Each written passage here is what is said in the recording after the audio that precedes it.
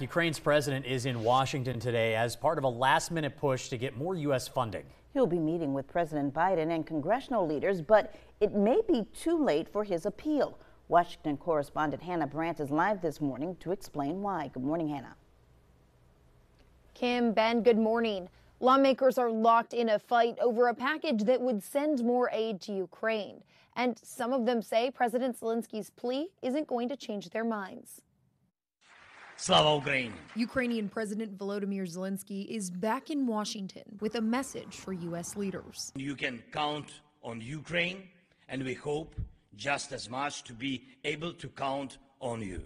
Right now, U.S. funding for Ukraine is rapidly running out, and the Biden administration is asking Congress to approve more than $60 billion in further aid before the end of the year. We are determined to help Ukraine fight to defend its territory and its citizens. But that request is caught up in a debate over immigration reform, with Republicans demanding a strict border crackdown in exchange for any more Ukraine aid. The only way that we have leverage to make them do the right thing is to say, listen, you're not going to get any more funding for whatever else you want until we control that border. Republicans and Democrats have been negotiating for weeks, but so far they haven't been able to reach a deal, putting the fate of the wartime funding at risk. Republicans and only Republicans are holding everything up because of unrealistic, maximalist demands on the border. This standstill adds urgency to President Zelensky's visit as Ukraine's situation grows more dire by the day. Right now, we risk Ukraine literally running out of bullets.